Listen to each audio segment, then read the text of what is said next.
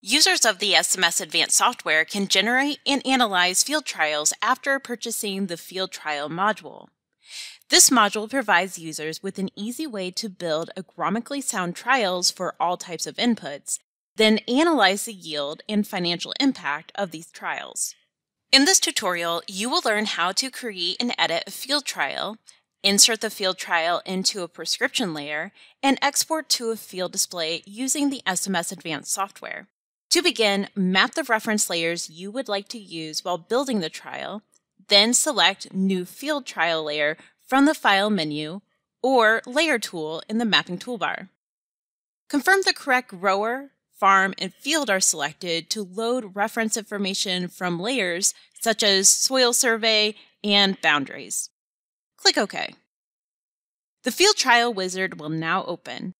Previously created trials will be displayed to edit or click Add New to build a new trial. In the Add and Edit field trial dialog that opens, enter a unique trial name as well as a description.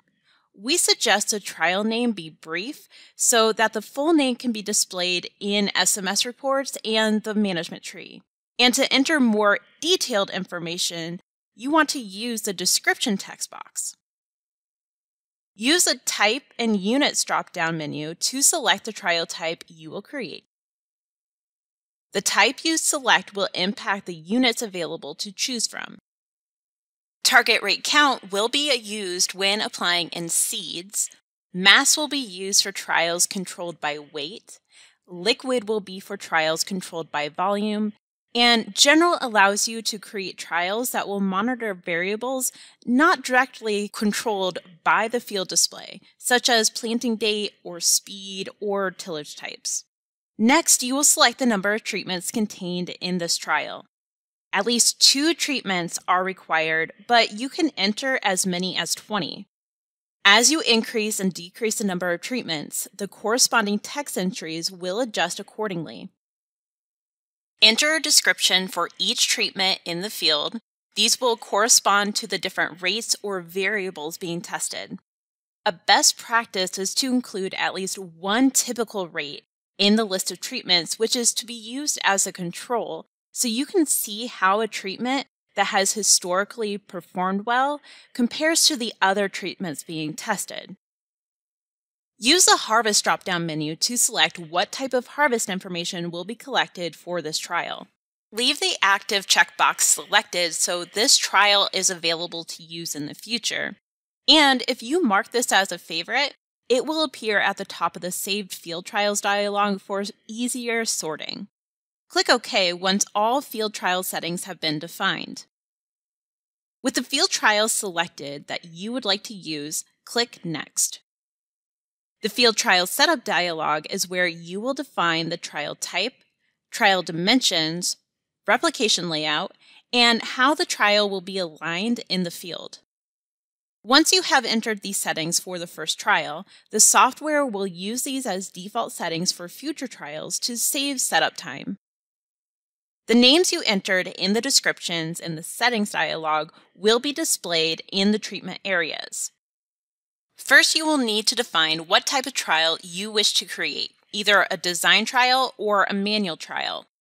A design trial is typically a very structured way of building an in-field trial where you define the rates, replication, and place the trial in the field where it will have the least amount of bias. These trials have the ability to be inserted into a prescription for automatic in-field control by the field display. Manual trials are a way to allow you to place a trial in a field when less than ideal circumstances are present or there's no way for a display to control the treatment, such as downforce or speed trials. This allows the data analysis more freedom to place the treatments individually in the field to match what generally has already been applied in the field, such as building a trial to track yield response after the field has already been planted. Next, you will want to enter the trial dimensions to use. The width you define will be the swath width of the treatment being applied. So if the treatment is a planting rate, you would set the width to that of the planter when the passes are straight. When working with trials placed at an angle or around contours, you may wish to widen this entry beyond the actual swath width, so the GPS variances and display settings do not impact the placement of the trial. The length you enter will determine what distance the treatment will be tested. You will want to make sure you enter a large enough distance so the results you receive during harvest are meaningful. The harvest buffer you will enter will affect the analysis done on the field trial by allowing you to tell the software how much data to exclude from the analysis by ignoring data points collected from the start and end of the trial to the distance you enter as the buffer.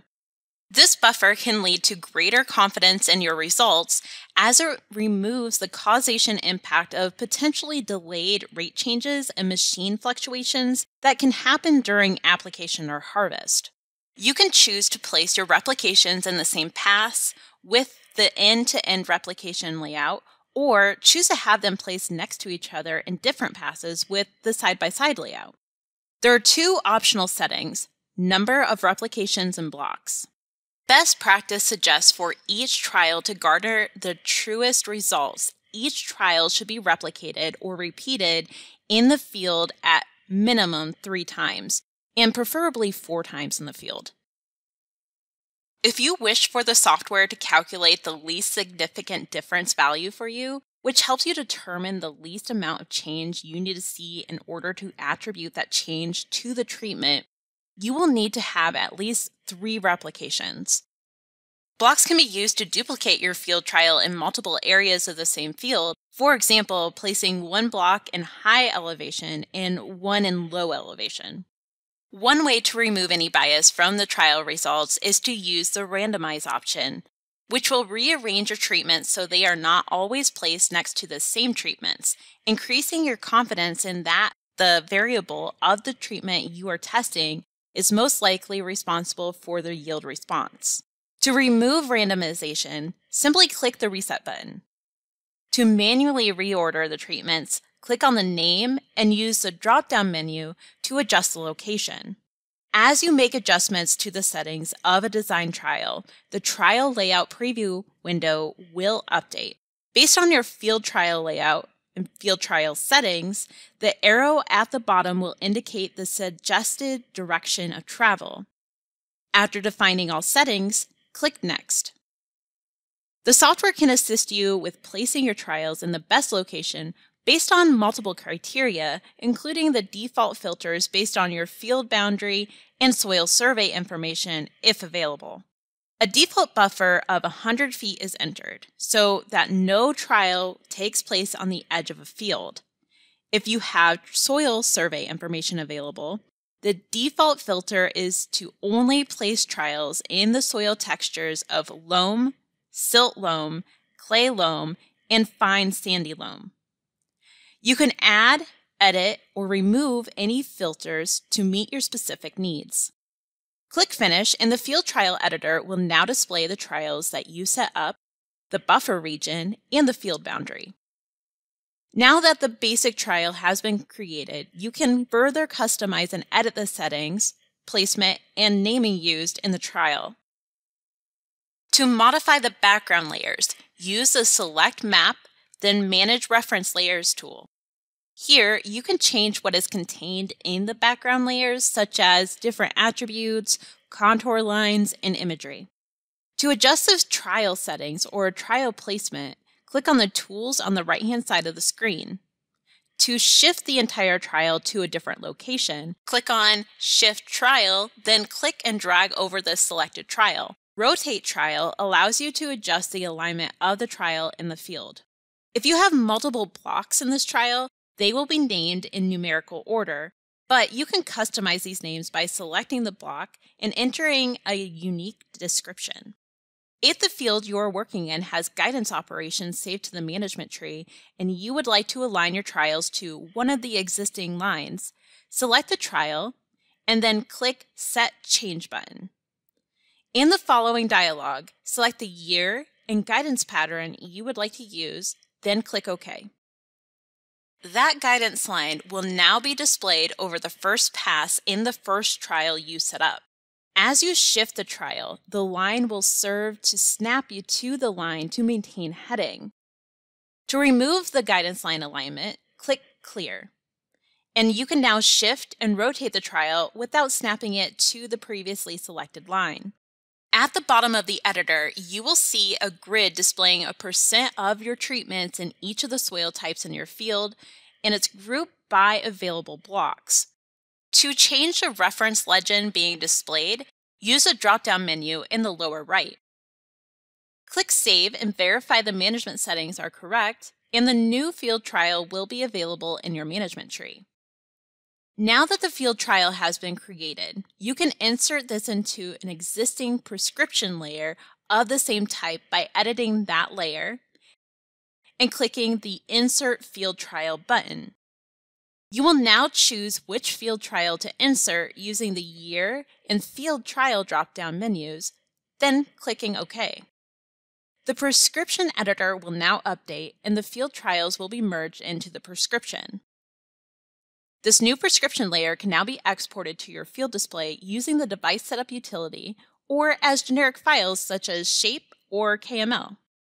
For more information on exporting, please review the exporting tutorial available on our YouTube channel. You have now learned how to create and edit a field trial, insert your trial into a prescription layer, and export to a field display.